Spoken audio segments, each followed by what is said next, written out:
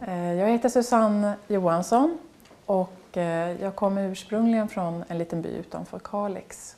Eh, jag, just nu så är vi i min ateljé i Tolfta utanför Tierp där jag har bott i 14 år snart. Jag tänkte berätta lite grann om min kommande utställning hos Galleri Magnus Carlsson som är min, blir min sjätte utställning på galleriet. Jag har eh, jobbat eh, med bilder som både har sitt ursprung i eh, byggande av olika världar kan man säga. Med skulpturer och olika kartongbyggen och samplingar av, av bilder som jag fogar ihop. Och sen så blir de här stillebenvärldarna bara som, en, som ett avstamp för måleriet. Så att, sen tar målningarna vägen någon, någon, ibland lite någon annanstans än vad jag hade tänkt från början.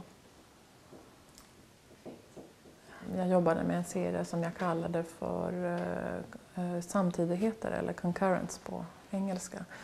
Uh, där jobbade jag ju seriellt mycket med att hitta just det här eh, specifika uttrycket av ett pågående skeende. Att, att målningen skulle nästan inte vara eh, en fast bild utan den skulle vara, liksom, kännas som att den var i, i rörelse på något sätt. Fast en bild kan ju inte vara i rörelse men, men att den var en pågående process som man tittade på mer än att det var en bild. Och det jag har gått vidare med nu det är att jag har ehm, eh, försökt att hitta en balans mellan den här, det här pågående skeendet, den här glipan i verkligheten eller ens inre verklighet på något sätt, eh, med, som man bär omkring på hela tiden. Det, det inre skeendet kan låta lite högtravande men, men vi har ju det alla med oss. Vi går ju omkring med det, alla minnen och alla alla tankar som snurrar runt i huvudet på oss hela tiden när vi går omkring och gör ganska vardagliga saker. Ehm, det är väldigt organiskt hur jag eh, väljer bilder. Eh, och det har också en ganska stark relation till, till mitt egna liv och de egna associationer jag har och vilket känsloläge som jag är i och, och vad som händer runt omkring mig. Vilka människor jag har runt omkring mig och vilka situationer som jag är i. Um, där, där försöker jag vara öppen hela tiden inför det som sker runt omkring mig. Så att om jag ser någonting, jag kan ju inte nödvändigtvis använda allt som händer som jag tycker är intressant, men det, det finns vissa ögonblick som är liksom skarpare tydligare än andra. Som jag kan känna att det där måste jag bara göra en målning av. Jag kan ju försöka i alla fall.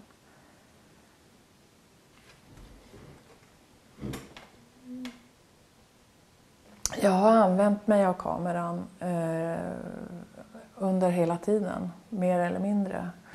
Och när man sen då målar det, den fotografiska kvaliteten, och, och gör om det till ett måleri eh, så kan man antingen härma fotografiet eller så kan man liksom på något sätt eh, ja, man kan förstärka fotografiets kvalitet. Jag vet inte om det blir otydligt men, men det, det är någonting där.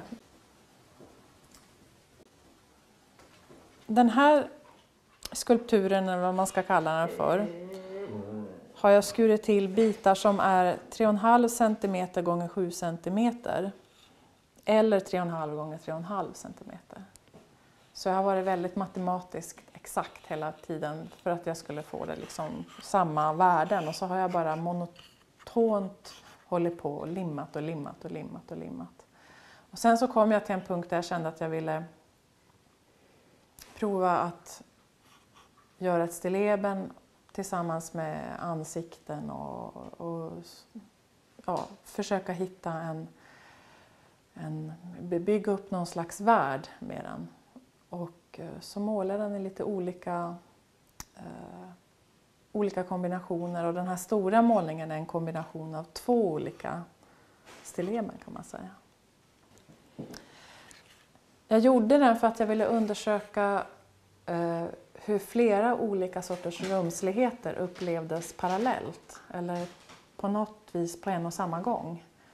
Och jag kunde inte göra det på något annat sätt än att bygga någonting som var, innehöll många olika slags rum. Där jag kunde placera in saker, där, där eh, ljuset föll rent konkret på ett visst sätt. Det går liksom inte att hitta på det.